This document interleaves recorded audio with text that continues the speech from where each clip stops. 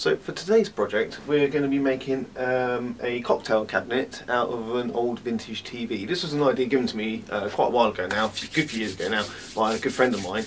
Um, he said, oh, uh, would you be able to, if I um, found an old vintage TV, would you be able to do a perfect cut around the front and make it into a, make it for a door into a cocktail cabinet? Excuse me. And I said, yeah, probably could. Um, you'd have to do it properly on a table saw, but should be able to do it. Shouldn't be too much of a problem, uh, I hope. But um, yeah, so it was good, good few years ago now, like I say, and um, he's never come back to me. Said he's had a um, had an opportunity to get a vintage TV, but I was on a job one day, um, a job that was uh, it was a, a site, an old um, uh, what was it? It was like a an old carpentry workshop, engineer shop. It was like a builder's yard type place, but lots of various uh, buildings and whatnot, uh, due for demolish. Um, and basically it had in the machine shop they had uh, two of these old vintage TVs. Um, one of them still had its innards, uh, and this one didn't. And to be honest, I think this was a nice one out of the two. Um, so basically, it was just the carcass. So obviously, it was going to just go in a tip or or be demolished in the crush. So I thought, well, might as well save it and. Use it for some good. So what I thought, immediately I thought of my friend, obviously. Um, so what we're going to do with this is, as you can see, it's completely empty. Um, still got the glass, and it's still got the plastic front panel here, where the knobs used to go for changing the channel and whatnot, um, and the volume, but the little knobs are actually missing, so we're going to have to create those later on. Um, so uh, and obviously I'm going to have to raise it up off the floor so it's on, well, probably don't, but I was thinking it would be nice if it had legs to it, so I'm going to have to try and match the legs at some point, or match some wood to it to make some legs. Um, so what we're going to do first, what we really need to do first, is take out the glass, take off the plastic section here, any little fixings that are on it. Um, I think there might be a couple of little, yeah, a couple of screws. There's a few little bits here and there uh, we need to deal with. But then, really, what we need to do first, after we've taken those out, is get all this uh, lacquer off, which is all peeling anyway. It's not in a very nice state. I'm going to have to try it because this is actually a, a, a ply. The, the, carcass of it is actually plyboard that's been veneered. Um, and what we're going to have to do is try and get all this lacquer off and try and not um, take off the veneer, not try and get. So we're going to have to be very careful with it. I think um, I've started rubbing it down there gently, but we might actually have to use some um, type of uh, varnish remover. I think. I don't think um, sanding it's going to be a great idea. It might it might ruin the, actual veneer. We, we, we'll see. We'll try a few different things probably, but we'll we'll see. But what to do first is take these sections out.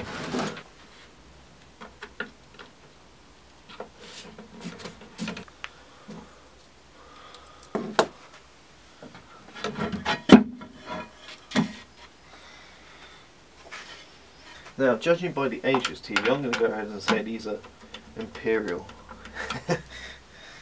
which is uh, which one? Which one? Right. what size is that? That's a quarter. That one. Quarter. Make sure undo.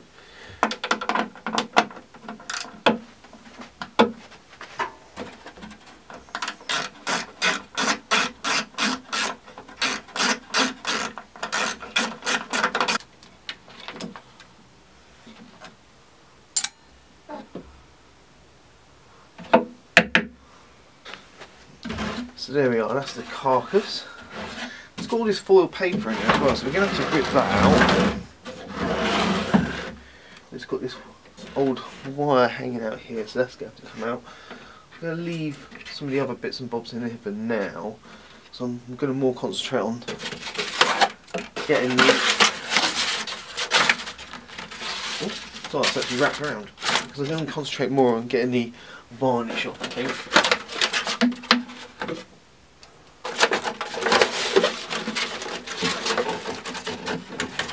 I've just gone ahead and I'm going to start using this wax remover by Colron. Hopefully it's going to work.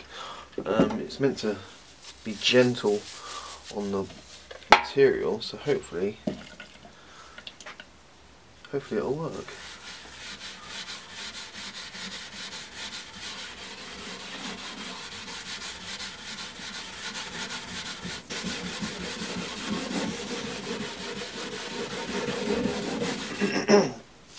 It says on the tin is you're meant to use a, a, a fine. I'm pretty sure it says fine. Probably well got it wrong now, isn't it? uh, yeah, wear a silver glass. Pour a small amount of liquid into a wide mouth jar. Dip a small piece of collar or medium steel wool. This is actually a coarse steel wool, but it's it's good enough. uh, into liquid. Start rubbing generous amounts in the direction of the grain, working on about one square foot at a time. The finish will become sticky and dirty as it dissolves the old finish. So hopefully this should work. If it doesn't, we have to get more aggressive. Yeah, I can see it is working, it's just very slow. It's meant to be gentle, that's the thing, it's meant to be gentle towards the uh, veneer or wood or whatever. You're meant to work in the grain into the direction of the grain. Won't that look nice when it's actually revarnished and polished up? The colour of it is lovely. Hopefully, when I revarnish it, it'll look the same colour. I won't have to stain it. I don't know what they used really, was they used a stain and then a, and then a varnish or a coloured varnish maybe. We just have to wait and see. Okay, so I don't think that was working too brilliant to be honest, because I think this is a bit more heavy duty. This um, coating, whatever they've got on here, this wax, uh, wax, this varnish. So what I've gone done is I've started applying this eco-friendly paint stripper, which wasn't amazingly great on the chest, the um, oh, the old um, pine chest restoration I did. I tried using it on the purple paint on there. Uh, it's like a real thick purple gloss, and I mean, when I say thick, I really do mean thick. They they absolutely slapped it on. Um, it, it would have taken ages. It was it was working, but it just would have taken a very very long time to do it. Um, to get it all this is to get it all off at the time. Um, this is actually quite a messy stuff to use, paint stripper like. I mean, it's, a, it's like a weird uh, gel. This is quite quite odd stuff really. Um, but hopefully it's it's going to work. If it doesn't, oh god, you have to go the uh, even more aggressive route, aren't we?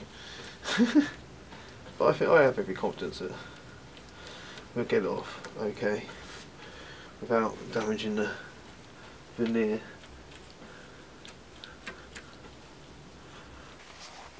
Okay, let's see if this has actually uh, done anything, shall we?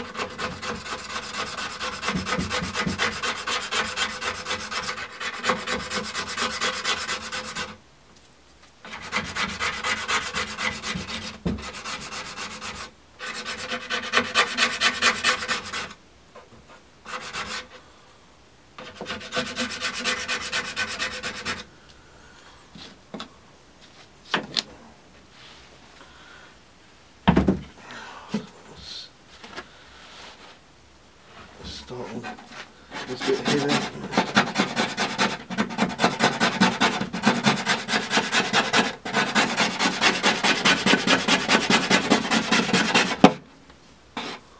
It's kind something.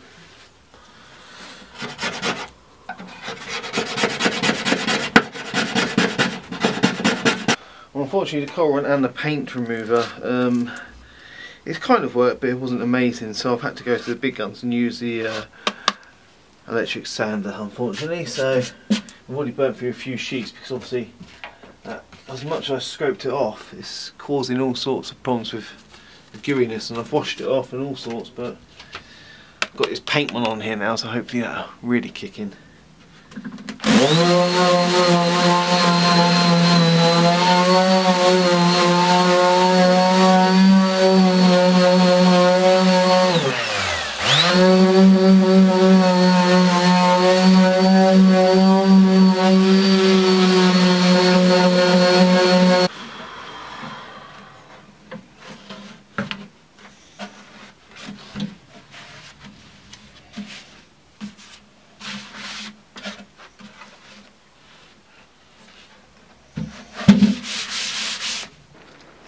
Unfortunately my battery died um, and my spare one was also dead so um, I've kind of carried on whilst it was charging um, but just to catch up a little bit I've uh, taken the two sections, two uh, pieces of wood that were on either side here which had like a little um, nut and bolt for it and that was um, basically for the the backs to uh, fit the back. Get my words out. The back to fix onto. Um, also, I think it fixed onto these three screws at the top here. I've also taken out this um, little strut section down the bottom here. Uh, I've still got this one to take out, and I've also started taking out the staples which were hold, was holding in that um, that foil type paper, um, which I ripped out at the beginning. Um, but I still have a few more of those to do, so we'll do that now.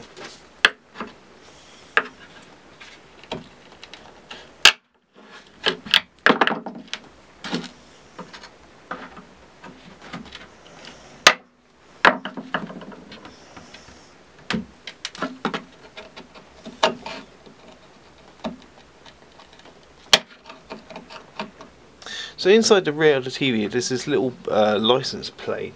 Um, I don't know about countries such as America and Australia, but in England we pay for a TV license.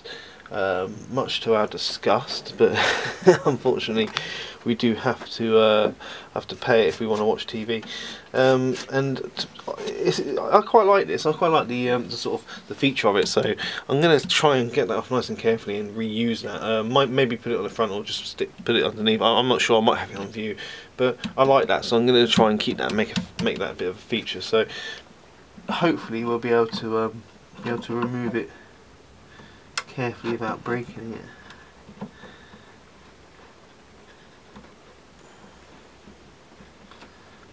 I'm really hoping we can anyway. Hey.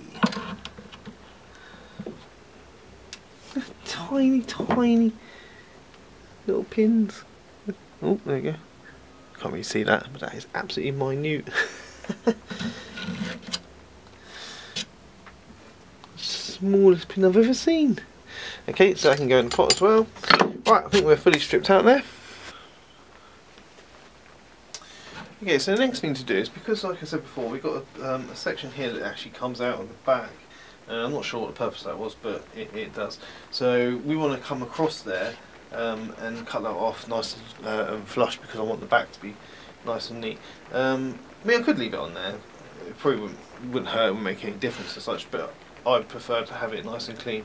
So what we're going to do is going to have to put a straight edge across there. And what I'm going to use is um, this little ruler I picked up. It's an old school um, fold, fold, out uh, carpenter's ruler. I actually bought this today. Um, it's a, uh, a vintage Rabone uh, boxwood ruler. It's really nice with brass fittings and everything. So I'm going to use this because it's the perfect size to be honest.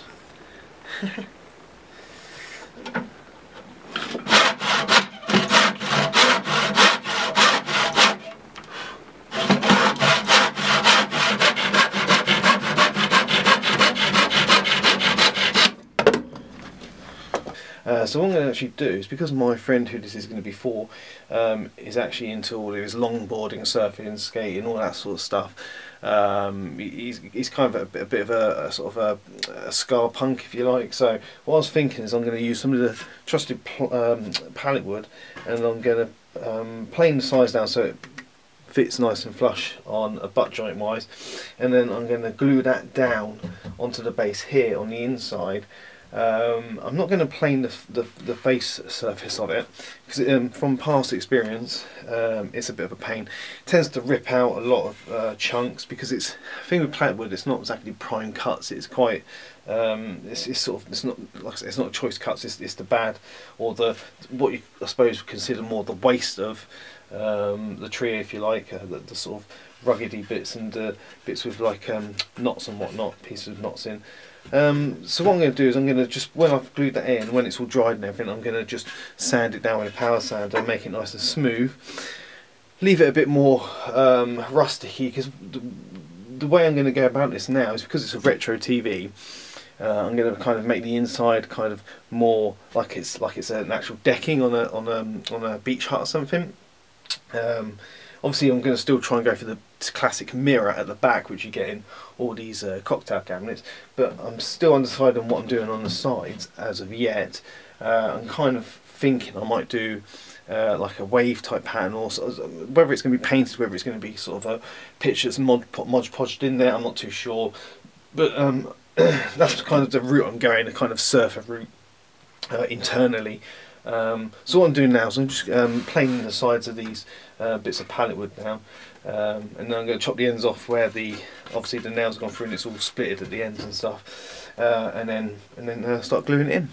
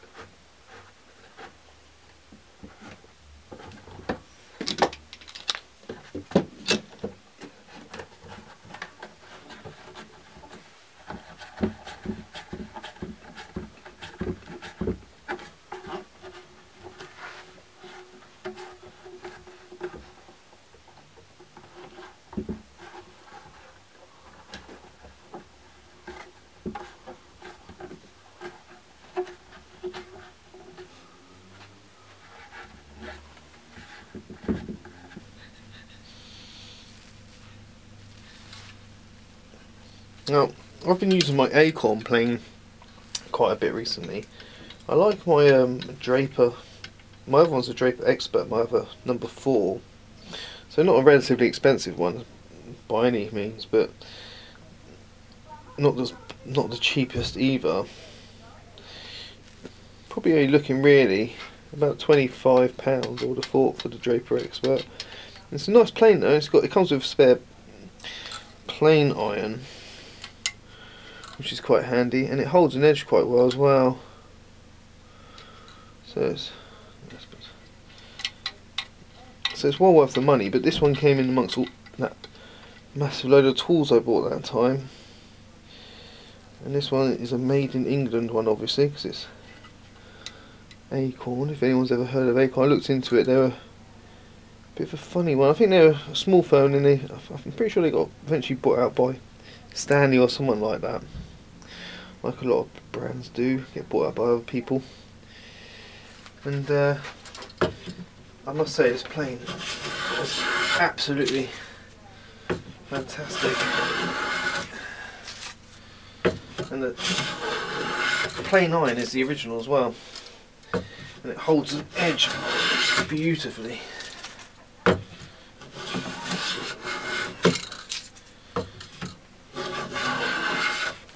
Some nice fins, thin ones there. Beautiful.